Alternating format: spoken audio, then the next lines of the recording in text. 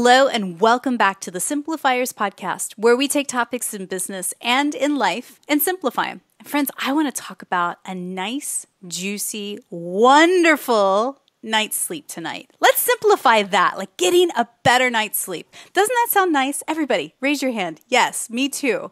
So I had to find the right expert for this specific topic because you guys have been asking for this for a while now to simplify. And I think I have found her. Her name is Shae Leonard, and she is a certified and licensed physician assistant and functional health health coach. So she specializes in mental health, gut, and hormonal health. Now, her work has led her to learn about how to optimize one's genetics, improve mental health resiliency through meditation, amino acid therapy, nutrition, sleep hygiene, and more. So I'd like to welcome to the Simplifiers podcast, Shae Leonard. Hey, Shae. Hi, Mary. Thank you so much for having me on today. I'm so glad you're here. And I'm sure there is quite a few people that are listening right now that have probably had a couple of bouts of insomnia. I mean, like, especially people in the States with all things going on in the news and government and all the insanity out there. But I really want to back this up because, yes, there will always be stress and things that are uh, going crazy, you know, whirlwinds in our lives. But I think that there is um, someplace I'd like to begin is actually to talk about sleep hygiene. Like, how would you define that, and why is it important for us to focus on it right now? I love this as our starting point because sleep hygiene is where it all starts and it's really simple and it's perfect for very fitting for the podcast itself but mm. sleep hygiene itself is just about giving the body the right vibes the right signals to induce a good sound sleep and that's really all it means is how can i tell my body give it all the right signals that it's safe and time to fall asleep and repair and rest mm. and that is all it's about Yes. So why now? Why why do you think people need to really think about uh, how well they're sleeping at night? Because I can imagine, I won't name any names, a few friends that are listening, and even a few coworkers of mine who are like. Ah, Shae, I only need four hours a night. Like, it's no big deal. I'm fine. Everything's fine. Are they actually fine? No. So I would definitely say the two biggest issues that's facing modern lifestyle right now is stress and sleep, and they go hand in hand. And we have to have sleep. Literally, it is a healing process. It's where we we restock our hormones, we process and get rid of toxins, we repair damaged tissue, we regenerate vital white blood cells for immune system, we eliminate the effects of stress, we process even mental emotions during sleep, it is vital. It's not a, a like there's no negotiating about it. It yeah. is vital every day. Well, and I mean, even as you just list that laundry list of things that our body does, like, I don't yes. know, if, every now and again, I'm just like, that is incredible. Like, I don't actually yeah. have to tell my body to do those things. It just magically does it all in its own and, and so awe inspiring. But I think it again, it just reminds me what I hear and what you just said there is that we're not robots. Like you just can't power us off and power on and expect everything to be at 100%. There's a lot of things happening while we're asleep that we're not even aware of, right? Absolutely. So true. Mm. So, where's the first step? What would you recommend for people interested in getting a better night's sleep tonight? The biggest thing, and we'll get into some very specifics, but I would just really try to figure out why do we think we're not sleeping well? Not sleeping well is a symptom. It's there's mm. some bigger reason. There's something upstream that is our body wants to sleep. It needs to. It wants to do that. So if we're having issues with sleeping, there is a reason. So finally, using your intuition, stopping and asking yourself, what am I doing day to day, week to week? That's conducive for sleep or not conducive for sleep? Yeah. What choices do I make every day that are either helping or harming my whole sleep pattern? And really, that's where I always start because a lot of times our intuition is the most important. And a lot of my clients, they're like, oh, it's probably because I have caffeine at eight o'clock at night in my chocolate bar. Didn't mm. think about that before, but maybe that's what it is. Or maybe it's because I go and I do a really hard hit workout at 8 p.m. and I can't turn off my brain. Or maybe it's because I do my to-do list and laundry at 9 30 mm. p.m., right? Yeah. They kind of know. So we start asking those questions and, and most of my clients' intuition really tells them. So that's always the first start of let's just ask ourselves what probably is contributing to a poor night's rest. Yeah, and what I hear in that is is looking at when you say the signals, um, it's it's like getting deeper into what the root cause is behind the insomnia because I think gosh, in this day and age, there are a bazillion pills and a bazillion uh, band aids you can put on symptoms and problems that you're having. Just the same as somebody who has a tummy ache who takes indigestion pills. Um, I, I hate to think that there are people out there right now listening that are taking sleeping pills because they're like, this is what I need in order to sleep. And is that true? No, so there's always a root cause. Things don't, like I said, this goes against nature. Our nature is to sleep. So there's mm-hmm. something disrupting it. Of course, uh, prescription medications like um, ADHD medications during the day can cause issues with sleep at night. Then you have right. to take a pill for that, right? Um, and then all sorts of lifestyle factors, too much stress, and imbalance in cortisol and melatonin due to stress, this mm. imbalance in, in these different um, axis, um, HPATG axis. Um, and then, of course, like we mentioned, just general sleep hygiene, drinking caffeine at night or eating too late or, you know, watching too much crime drama in the middle, you know, right, right, before bed. You know, there's so many different things, but nutrient deficiencies, lack of serotonin, um, lack of magnesium, there's so many root causes, mm. but, um, but ultimately sleep hygiene is the perfect way to start um, identifying those issues. Mm, very good point. And if I can just make a tiny little confession to you right now, I, I know no one's listening, it's just between you and me.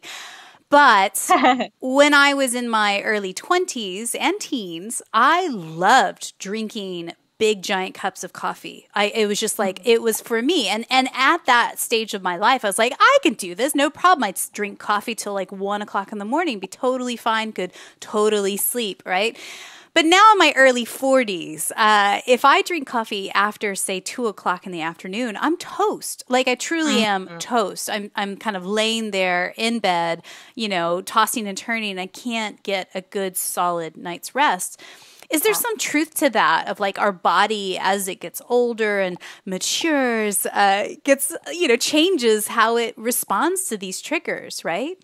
Oh, absolutely. So, mm. some people, number one, genetically process and metabolize caffeine differently. Some people are ultra rapid metabolizers. And so, you know, they can have a little bit of caffeine in the evening and it doesn't seem to bother them. They're the minority. Yeah. But um, yeah, so there's lots of different factors that contribute to that. But age at a baseline because our hormones are changing and melatonin is a hormone, cortisol um, is a hormone. These things change and fluctuate over time depending on our environment, what we're going through, um, aging itself, all these different factors. So, absolutely. And that's where we see seasons of gosh, you know, last year I didn't have a sleeping issue at all. And now all of a sudden I mm. do. And then two weeks later it's good. And a week later it's not. That's going to have happen. We're going to have this ebb and flow based on what we're exposing ourselves to, what our environment is um, mentally, emotionally, and physically. Mm, it makes a lot of sense. And also, imagine, as you say, like the seasons of temperature. You know, do you sleep better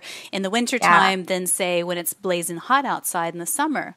So mm-hmm. I know mm-hmm. you teach your clients the seven fundamentals for a great night's sleep and great sleep hygiene. Let's go over all seven just at a high level and then take a deep dive into a few of them. So, can you lead us through that? Yeah, that sounds great. So there's seven. They're not in any particular order, but the first one is let's just choose more calming evening activities. Um, how can we just relax, read a book, take an Epsom salt bath, maybe go for a light stroll outdoors early evening, playing with a pet, you know, something that's very relaxing activity instead of, you know, let's go be very rambunctious and running around. And I know with kiddos, they tend to do that too. And so, as parents, you know, you're running around chasing the kiddo and it's nine o'clock at night, and everyone has a hard time, you know, calming down. So, choosing more calming, quiet evening activities is number one. And, you know, I should back up to say this, Shae. Like, all the things you're going to say, all of us are going to be like, well, this is Captain Obvious. But how many times do we actually do this? Like, so as she's talking through this, like, take notes, do one or two of these things tonight and actually test it out. Um, because mm. I think it's just like, oh, well, yeah, of course. I'm not going to like, you know, do heavy lifting uh, mentally or physically late at night right before sleep.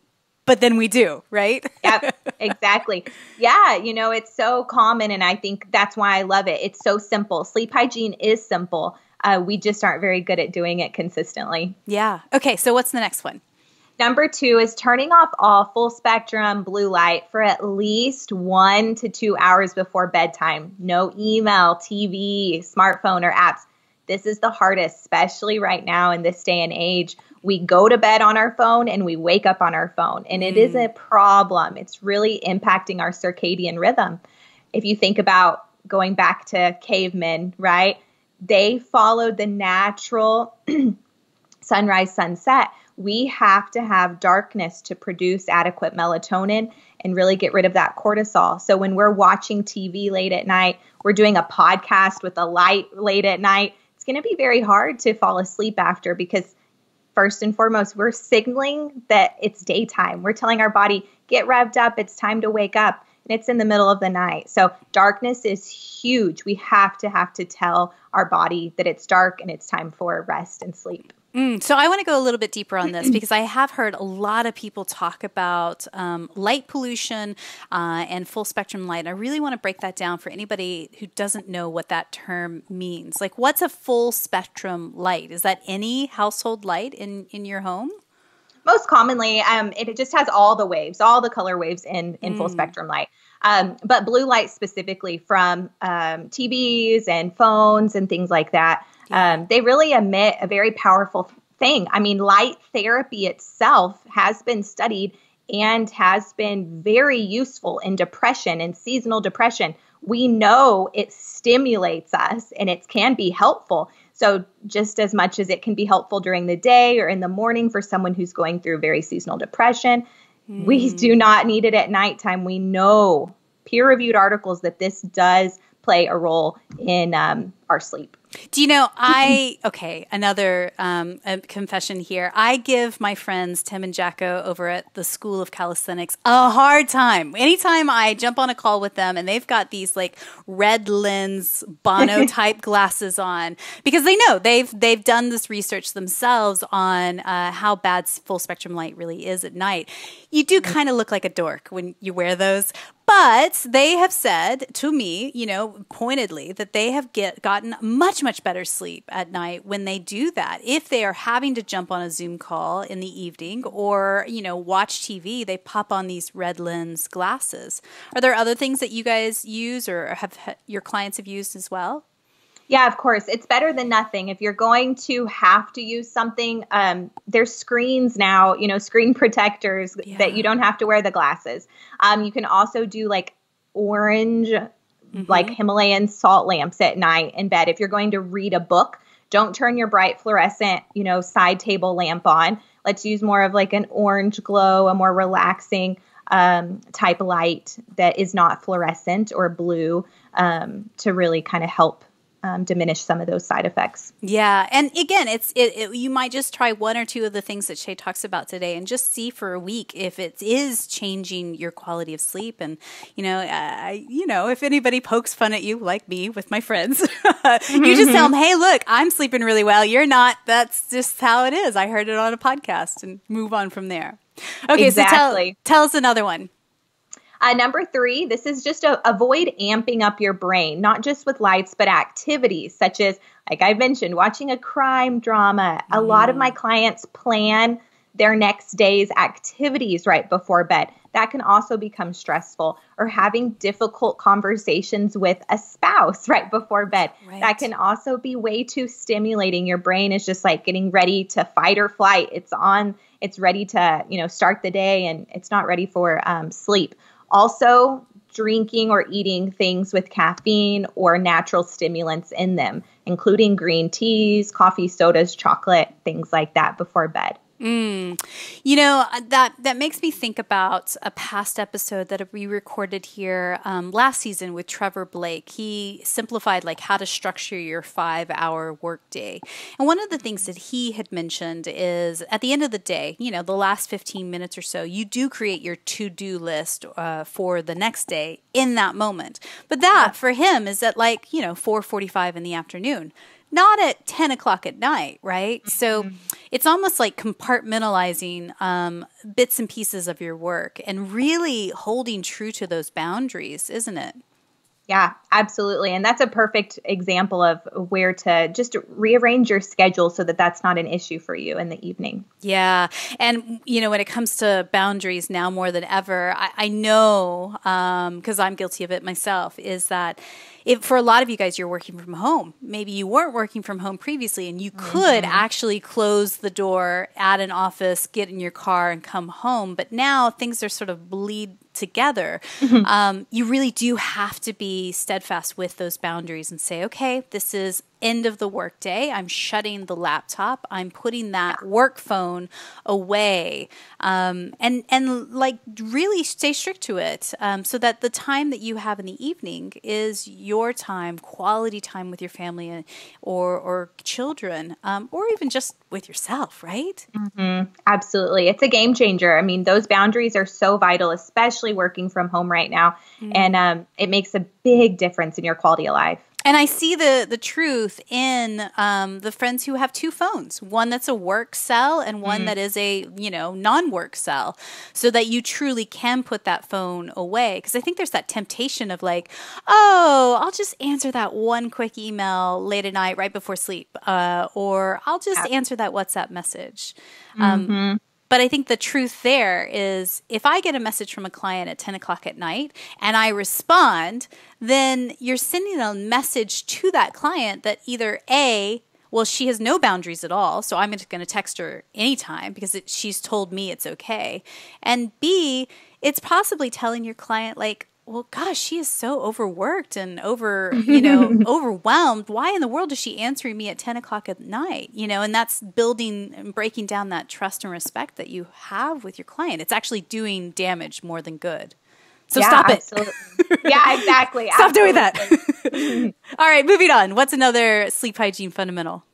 Make it quiet. Another simple one. I can't tell you how many complaints of once I start talking to people, they're like, oh, yeah, my husband, sorry, husbands, um, they snore, or I hear the dogs barking across the street and it really disrupts my sleep all the time. It's so important. So, using soft foam earplugs, doing a little white noise, oh my goodness, it can make a world of a difference, as mm-hmm. well as um, making sure that it is completely dark. Um, doing something like a mask at night has been a game changer for so many people. We, like I mentioned, we're very sensitive to light, and at nighttime, any tiny bit of light can make our melatonin think it's time to wake up and really mess things up. So, even mm. waking up in the middle of the night and looking at your bright clock staring at you, mm. try to avoid that. You know, using a sleep mask has been a game changer. I know for my husband, uh, pers- he always had sleep issues, and that's all that I did for him. Amazing and um, so many of my other clients. So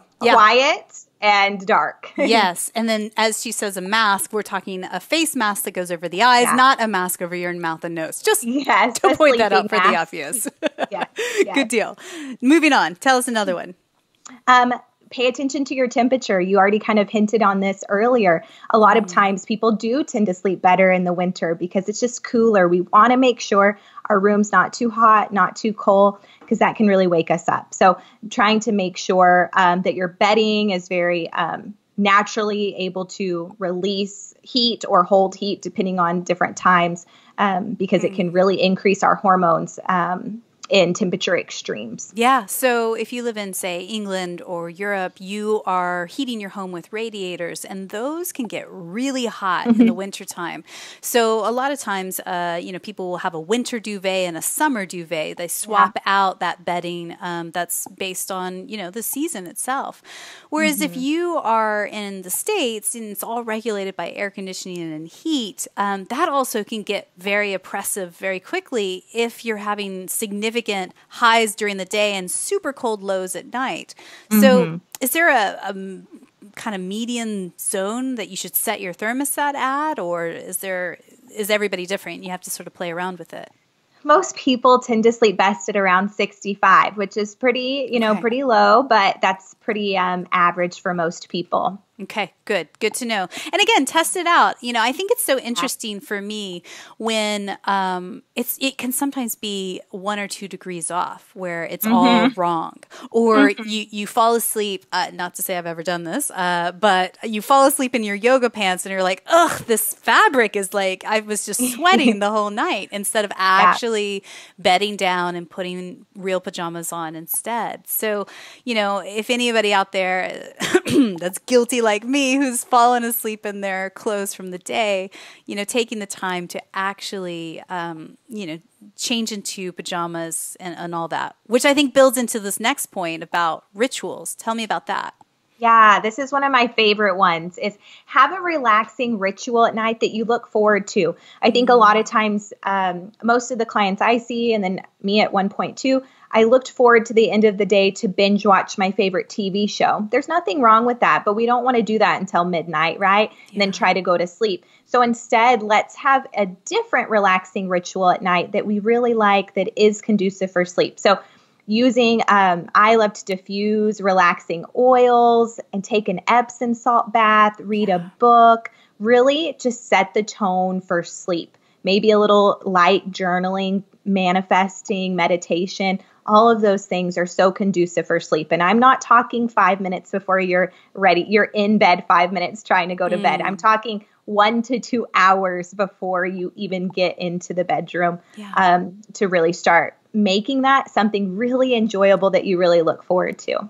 Yeah, and I, I like that as almost a playful challenge. Because, I mean, how many of us, we're all so privileged, aren't we, who mm-hmm. have a bathroom pantry full of bath gels and scrubs and all sorts of stuff that are just sitting there going off, right? Like, instead of tonight binge watching something on your favorite on demand player, uh, go and just like take a dive into your your spa pantry that you already have and and play tonight and just say okay i'm going to do a foot scrub i'm going to do this instead tonight i'm going to put on some soft music or low lighting and just take a moment to pamper myself and just see how it feels yeah, it'll be interesting because your body will start craving that more and more. Mm. We think our body's craving, you know, I just want to relax and watch TV. And that might be you know, true ish. But once you give it even better alternative option, yes. it will start craving it. You'll look forward to that evening relaxing soak all the time.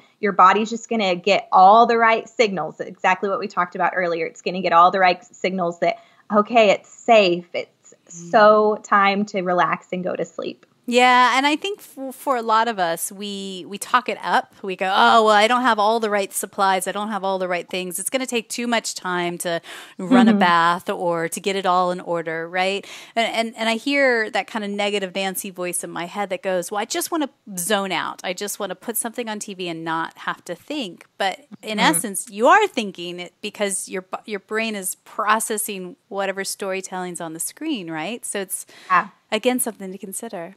So what's Absolutely. the last one? Last one, also vital, so important, not just for sleep, for so many different aspects, but quiet digestion. Specifically, no foods at all before bed, at least three hours. Wow. Three hours. So it's really important because our body at nighttime needs to rest and repair, it needs to mm. get rid of toxins, it needs to fight off infections, it needs to handle the emotions of the day. If we just ate a meal, our body's going to be focused on digesting that food and not healing and repairing and that's mm not that's just one aspect that we don't want to happen but also when we are focused on digesting our body's not as focused on sleeping and resting and repairing and it can cause a really light restless sleep mm. um, that we definitely don't want either people have been there man i fall asleep pretty easy but i'm just restless and i feel tired the next day that's not adequate sleeping either so even if you can fall asleep but you are just waking up multiple times throughout the night that's also not um, a good sound sleep for rest and repair. Yeah, and I, want to talk about some things that maybe are TMI for some people, but we're just going to go there because I've got you as a captive audience, Shae, and I really am curious about your expertise. So I notice as I'm getting older, I am really focused on hydration. I drink a lot of water throughout the day. Uh, my my personal quote is to do more water than coffee. That's always a good good target to hit, which means that I'm going to the bathroom like a lot. Um, um, and sometimes having to go in the night, is that should we cut off drinking water at some point as well?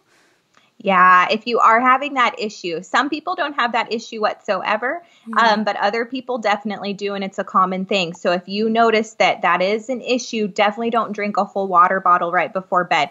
Obviously, we're going to have an issue with that. So you're going to have to play with that one a little bit. It might be one hour before bed. That's fine. It might be four hours before bed, depending on your bladder capacity. So, yeah. um, you know, it's really kind of unique to the individual, but absolutely true that you may have to limit water intake towards the evening. Yeah, because one thing that I've been doing lately that really has helped is whenever I have this kind of late night cravings of wanting to eat something, whether it's sweet or salty, is replacing it with a non caffeinated hot tea. You know, mm-hmm. it's like a chamomile or, or something like that. Um, and I feel like that really helps. But then again, that kind of it's more liquids going into the system. So you know, try to test that and see what works for you tonight. Um, because I think sometimes we eat at night, our snacking is not because we're actually hungry, it's just that we're mm. bored or we want something in our hands that feels warm and soothing or all of that. Yeah, absolutely. And I'm totally for for those things if it doesn't cause bladder issues in the middle of the night. I mm-hmm. love personally I love to drink bone broth at night. Um, I also love herbal teas as well. Um, it is something I recommend. There's some really great ones that also help digestion. Um, like you mentioned, chamomile is a great one, valerian, passion flower, lemon balm. Yeah. Um, also, ginger, turmeric, those type of things are great for digestion. So um, yeah, I love it if you can tolerate it. Mm, so again, carrying on the TMI conversation, but I think so many people would be curious about this.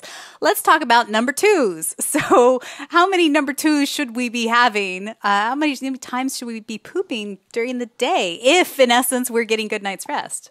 Yeah, two times is optimal per uh, day, uh, two, guys. Two days, yeah, two per day. Two to two to three per day is optimal very uncommon, I hate to say. Mm. Um, the average American is constipated, and that means they're going a few times a week, even every other day. Also, if you're going every day, but you are having rabbit pellets, also not normal. So it needs to be well formed, good stools two to three times a day. Um, because I have the flip side where people are like, oh, yeah, I go three or four times a day oh what what consistency and oh not good no. not good consistency so that's not normal either so two well formed easy to pass bowel movements daily. Yeah, so I imagine in in your kind of whole picture of you as a person, you know, sleep is an aspect of it, your nutrition is an aspect of it, how you move your body is an aspect mm-hmm. of it, stress, all of these things mm-hmm. play into your sleep but also into your whole well-being, right? Absolutely. Yeah, so I really am curious um when it comes to sleep in particular, uh, if you don't heed the warnings, if you continue to kind of have the four hours a night and living off of caffeine and and five hour energy drinks and all the things that are horrible and we know are bad for us, like what actually could happen? Do you think? I mean, if yeah. we do nothing, if we just continue to put band aids on it and take more sleeping pills or um, continue the bad habits, yeah, you will inevitably burn out, not just mentally, emotionally, but physically. And that comes from adrenal stress response. Mm. Um, that is an actual burnout. And that's where we start getting autoimmune diseases, chronic disease like diabetes, because stress increases our blood sugar so much, maybe even more than dietary factors we're finding. Wow. So many different aspects. So it really increases inflammation. We're not able to get rid of the toxins we're exposed to all day if we're not sleeping well. We can't repair and digest the things that we need to. We're not absorbing what we need to at night. We're not restocking our good hormones. So mm going years like that or even days, if you notice that you miss one night's rest, your cortisol automatically will be higher the next day because it didn't get a good night's rest. So imagine doing that every day. That's so bad for our system, increasing our cortisol like that every single day. We're getting wired and tired. Then we drink more caffeine on top of it. Right. Ev- eventually, we're going to have the opposite effect, which is depressed cortisol. Most people end up in this ebb and flow of both.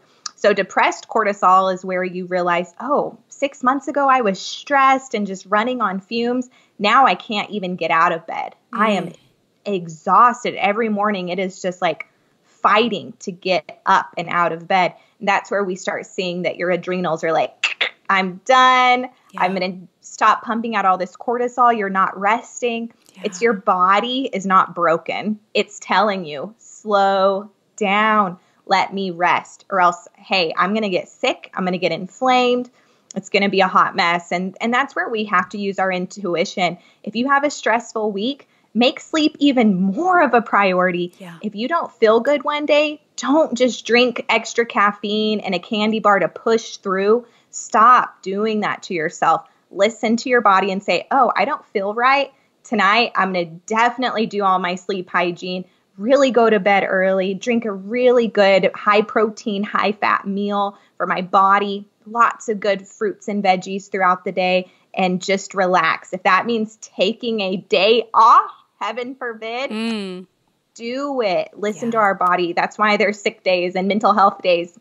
We need to take advantage of those and really listen because you can prevent a flu type situation or you can prevent a worsening sickness just simply by resting and paying attention. And now more than ever, we must yeah. focus and prioritize our immune system and boosting Absolutely. it um, in order to fight viruses off, in order to be our optimum best. And, and of course, yeah. all of this applies back to business. If you run a mm-hmm. business and you are um, the one that's in charge, making the decisions, uh, delegating the work, if you feel horrible the next day because of a horrible night's sleep or weeks of bad sleep, um, it is going to rip out, ripple out to all decisions you make from here on out. So it is no longer a I should probably do something about that next week, next month, next year kind of problem. Mm-hmm. It's a this is a priority in order to really thrive and be my best. So, yeah, yeah. I,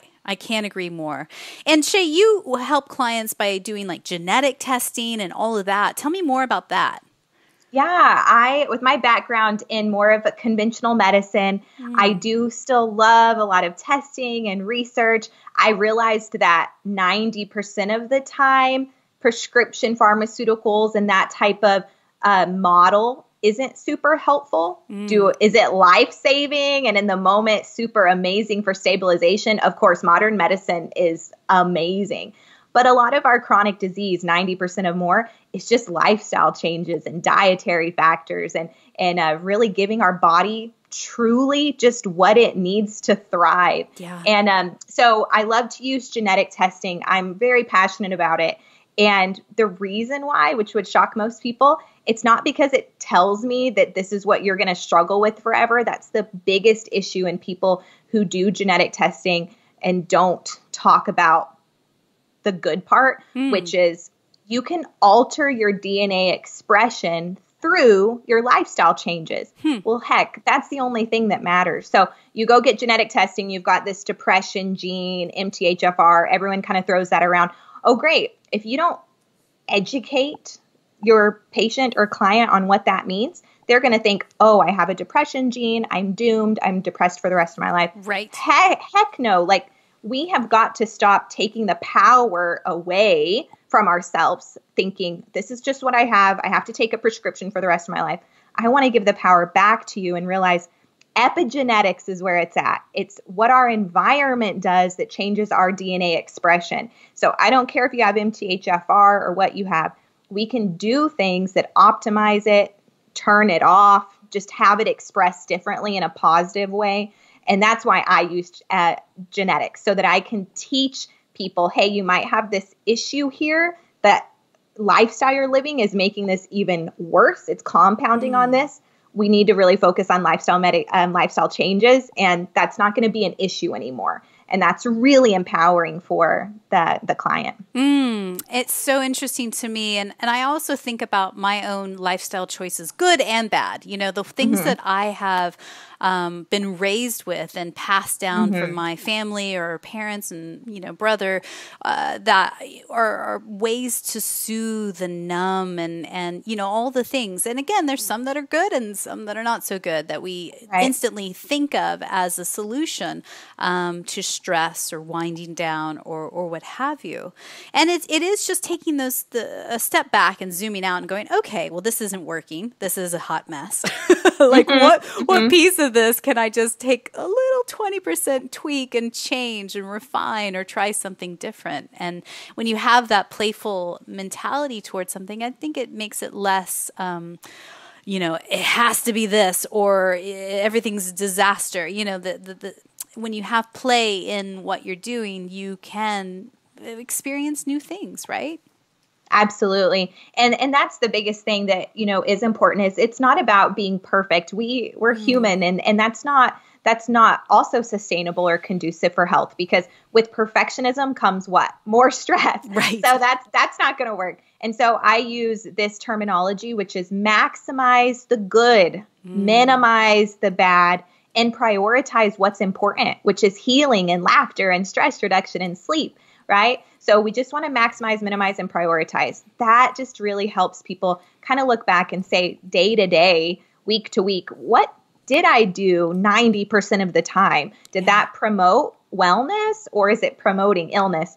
And that kind of um, is a really great way to think about it simply. And everything that you mentioned on today's podcast, I mean, these are the ways that parents intuitively put their babies down to sleep at night. We create mm. bedtime routines that are, you know, uh, the lights are low, the music is calm, mm. it's a lavender bath, it's singing songs, it's reading simple books. I mean, these are the the loving, gentle things that we do for our children that we sometimes forget to do for ourselves. And yes. So I just encourage you guys if you are intrigued, you've been getting crappy sleep, tonight's the night, my friend. You're mm-hmm. going to try it out. So, if you want more information about Shae, her website is shaeleonard.com. That's S H A E. Again, all the links and resources and things we talk about in today's episode are in the show notes at thesimplifierspodcast.com. And I'm so grateful for you, Shae, to come out and just tell us some of these things because I think that this is so critically important and worth the time and energy to focus on. Yeah, absolutely. It's definitely, like I mentioned, it's a non negotiable for health. Mm, and such a tiny thing that could create big impact in a positive mm-hmm. way for mm-hmm. your life. So, Shae, I have a few questions I'd like to ask you as we wrap up. Uh, I'd like to ask every single guest on the podcast. And again, thank you so much for your time. My first question is this one uh, Tell us what's one book or blog that you're reading these days that's either inspiring you or poking holes and challenging your belief system? I Okay, I'm an avid book reader and I believe in the power of books. I believe that successful people read. So I love reading. Mm. The book I'm actually reading right now is a reread for probably the second or third time. And um, I use it a lot in my client sessions. I use it a lot every day personally, but it's kind of an interesting one. It is called Breaking the Habit of Being Yourself mm. by Joe Dispenza great mindset book. If you follow me on anything or you're about to, you're going to learn a lot about mindset and the power of mindset and how we really have a placebo effect in life. And and this book speaks on that, speaks on meditation and the placebo effect and how powerful our mind is, how it actually biochemically can change our bodies um, through our thinking patterns. Mm, Dr. Joe Dispenza, I mean, he is an incredible author, an incredible expert out there. I am enjoying um, Becoming Supernatural, which is another book by him, yep. which mm-hmm. literally will blow your mind when you start tapping yeah. into your subconscious, your superconscious, and, and really understanding what your intuition is trying to tell you. It's a game changer. So it truly is. Yeah. We'll link the, uh, this book in the show notes for people if you guys want to check that out. So tell us who's one person in your network, somebody that you know personally, you just feel is up to brilliant things. We could shine a mm. spotlight on them, and who knows, maybe one day we'll have them on the podcast. I love this question. And uh, I, the first person who comes to mind is my personal mentor. She really helped me get started in this. She introduced me to Joe Dispenza, which is so ironic, but her name is Jenna Clack. She is a functional pharmacist. She also practices um, health coaching and functional medicine. She's one of those people that are, they just do it. And that's the perfect way to explain her. She was from Midland, Texas, you know, in the whole pharmacy um, school, total thing. She, he was like, I want to do functional medicine and I want to move to Costa Rica. Next thing I knew, she was there, you know, live, living on the beach. And I just, I love that from her. Yeah. There's so many things I learned from her, but just to live is is one of those things. So she's great. Love it. We will link her up in the show notes for people if you guys want to check her out as well. So I believe gratitude and simplicity go hand in hand. Mm. Tell me what's one thing you're grateful for like today? Okay, I love this question too because yes, there's so many things I'm grateful for and having uh, gratitude journaling and things like that something I do regularly. Mm. But today I am so grateful for my job as a health coach. I recently, fairly recently, was able to leave my conventional medicine um, job as a PA, which was a big deal, Brilliant. To completely do this in a completely different direction. But the main goal was still to help people and it has helped me so much. But my clients are amazing.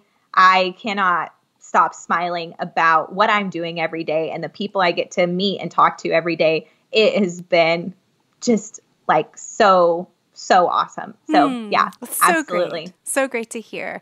And if you're curious about what Shae does for her clients, she does one-to-one concierge care, specialized lab testing, and more, specifically to help you get a handle on your wellness and sleep and, and more things. You can go to her website at shaeleonard.com for more information there. So my final question for you is this today, and again, thanks for your time. Uh, I really appreciate it. I hope loads and loads of people around the world right now are are, are getting ready for sleep tonight and getting all cozy. And, and I love the thought of that. So, someone somewhere is listening to us right now, and she hasn't slept good for days maybe even weeks. The stress is overwhelming at times. She is homeschooling by day, trying to grapple keeping her business and her work alive. All things are starting to come fraying at the edges. What's one thing you could whisper to her right now just to encourage her in this moment? I would definitely say just make your sleep a priority like eating. It's just a priority. So when you think day to day, because that person's probably not stopping um, mm. towards bedtime, they've got so much. They're so busy during the day. They do have to make lunches right before bedtime, and they've got to do all these things. And and we just, I rather you wake up a little earlier than just try to go to bed later because we just can't do that consistently. And so make the sleep a priority, recognize its power and what it can truly do. I it's the one of the first things I start with because you may not be motivated to work out or to eat well or to do the manifesting because you can't sleep. You're so exhausted. Right. So, making that sleep a priority is truly going to make all the other stressors in life so much easier to manage. And so, you can start kind of picking at those as well. Mm, and you deserve it. You're worth yeah. having a great night's sleep tonight. And so, we are both encouraging you on. Thank you so much for your time today, Shae. Thank you so much. I loved it. Thank you.